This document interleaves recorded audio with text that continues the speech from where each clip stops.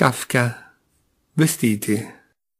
Spesso, quando vedo vestiti con molte pieghe, gale e ornamenti che si posano bellamente sui bei corpi, penso che non si manterranno a lungo in quello stato, ma prenderanno pieghe, che non si possono più rimediare stirando, e polvere, che ingrossando nell'ornamento stesso non si potrà più allontanare, e che nessuno vorrà fare una così triste e ridicola figura mettendo ogni giorno, al mattino, lo stesso vestito prezioso per levarselo la sera.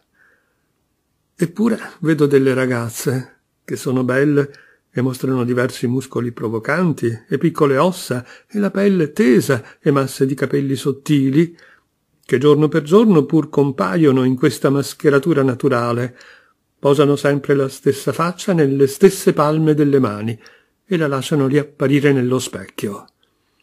Solo qualche volta, a sera, quando tornano tardi da una festa, il viso appare loro consunto, gonfio, impolverato, visto da tutti ormai, e che non si può più portare.